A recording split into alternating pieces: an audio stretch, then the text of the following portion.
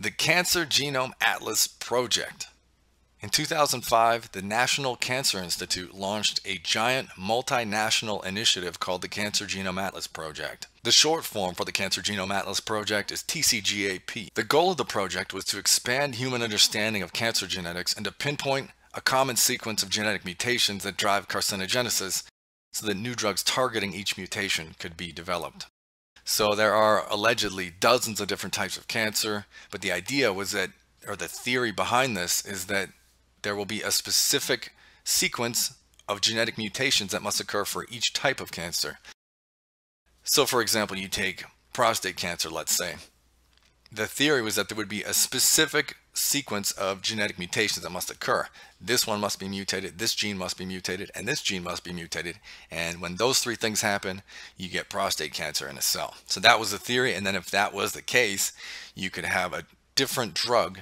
The pharmaceutical industry could develop a different drug to switch on or off those genes, which would in turn, in theory, cure that disease. If there ever were a project that could finally either prove or disprove cancer as a genetic disease, this billion dollar medical behemoth spanning more than a decade was it.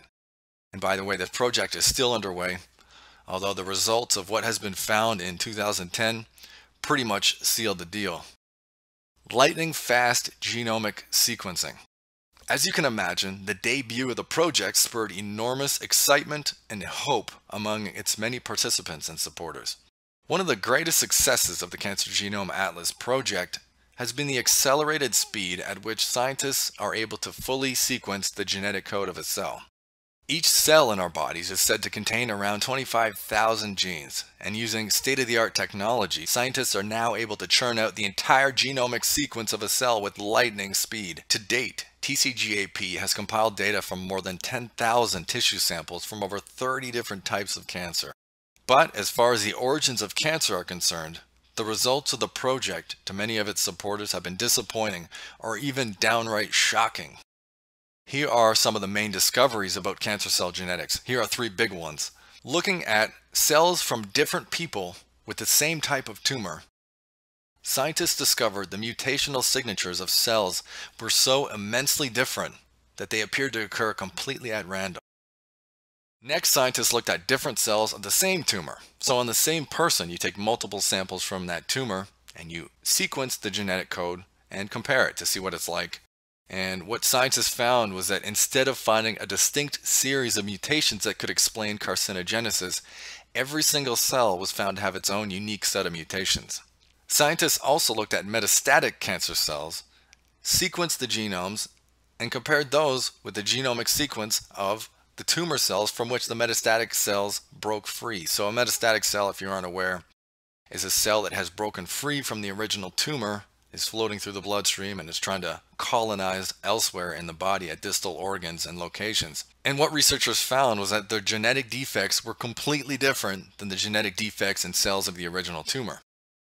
Time and time again, the story was the same. Not a single mutation or any combination of mutations were found to be absolutely responsible for initiating the disease. Results of the Cancer Genome Atlas Project.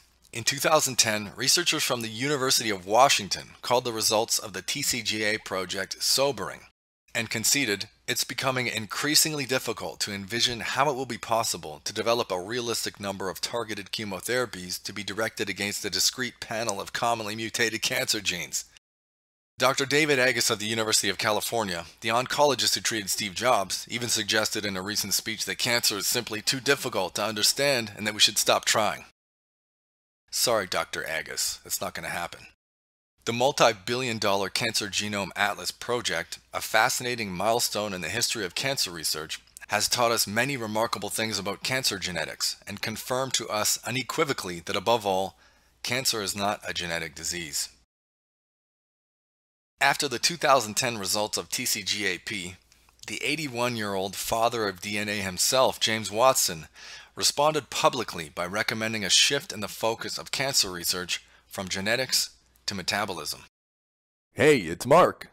Thank you for watching my video. If you enjoyed it, give it a thumbs up And definitely hit subscribe so you don't miss out on future videos when they come out. Also, be sure to pick up my three free ebooks one on chemotherapy, the other on sodium bicarbonate for cancer and other diseases, and a red light therapy dose guide by clicking the link in the description below. Last but not least, check out one more video on my channel right here, and I will see you in the next one.